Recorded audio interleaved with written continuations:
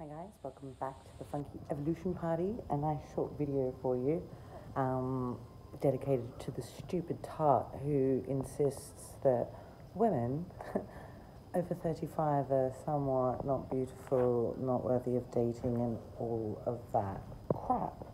Um, I'm 41, I've got grey hairs, I've also got a nice mixture of turmeric, ginger, cocoa powder, um, coffee, all the good things that my brain should be absorbing. None of this brainwashing nonsense. Um, women at all ages and stages, it's about learning, it's about knowledge, it's about a reflection of your environment that makes you beautiful.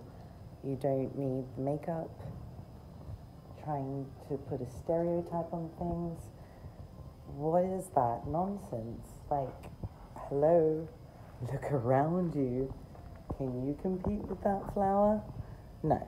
So I suggest you all pack it away. Um, I've seen a lot of men in, in their underwear online, and you know, imagine if I posted a topless shot. Hey, there you go. But I'm about to go gold on this one because ages and stages don't feed me that women would not have a place in this society and all of that nonsense. Like, you want to get a date, it's not by dissing other people, it's by doing the work. Look around you. What are you surrounded by?